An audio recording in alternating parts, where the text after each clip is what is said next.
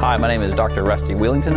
I'm an assistant professor of Christian Studies here at Howard Payne University. People ask all the time, what's your favorite class to teach? Uh, they're all my favorite.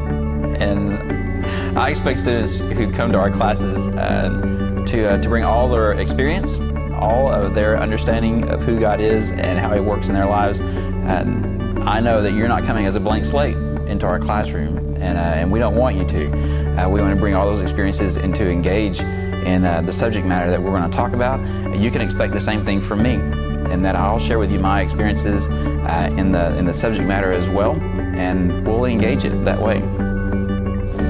Uh, God has chosen uh, to do ministry through relationships, and that's what, for me as a professor, what I want to build uh, in our classroom and outside the classroom is relationship. That we share life together, uh, the good and the bad and all the stuff in between.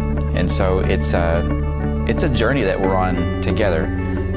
One thing that you'll understand when you come to Howard Payne is that you are not just a number on a piece of paper, that we see you as an individual. Uh, we want to join with you in, in our community of learning here.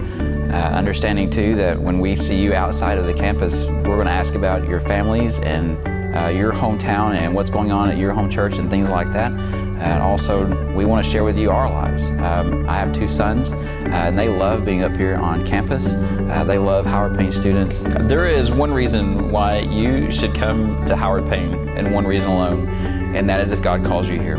We want you here because when God calls you here, we know that you're going to add something very special to our classrooms. All right, so we're just waiting for you to give us a call and so we can uh, show you around campus, talk about uh, classes and ministry here and what that looks like uh, in this context and, um, and, even for your life. And so uh, we look forward to, to visiting with you and your families and seeing where the Lord might lead you.